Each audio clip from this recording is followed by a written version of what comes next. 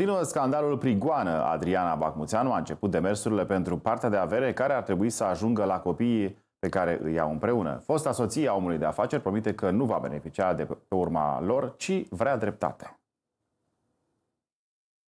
La fix 10 zile de la moartea lui Silviu Prigoană, avocatul Adrianei Bahmuțeanu a început demersurile pentru succesiunea legală a averii fostului soț, imediat după ce Adriana Bahmuțeanu a făcut public certificatul de deces. Adriana Bahmuțeanu nu vrea să lase viitorul fiilor ei în mâinile fraților vitregi mai mari. A declarat că va lupta pentru asta cu orice preț. Femeia a spus să mănânce și ei, nu doar ăia mari. Mai mult, Bahmuțeanu a zis că nu va lua niciun leu de pe urma fostului soț soț. Adriana Bahmuțeanu spune că scopul ascuns al copiilor mai mari ai lui Prigoană este să beneficieze de o parte din averea acestuia, deși până ca tatăl lor să se stingă din viață, aceștia nu mai aveau o relație atât de bună. După ce a contrazis orice afirmație apărută pe internet, conform căreia moartea afaceristului Silviu Prigoană ar fi fost de fapt o înșelătorie, Adriana Bahmuțeanu vrea să organizeze inclusiv un parastas. Mama celor doi copii susține că l-a visat în repetate rânduri și că modul secret în care a avut loc înmormântarea nu este deloc creștinesc.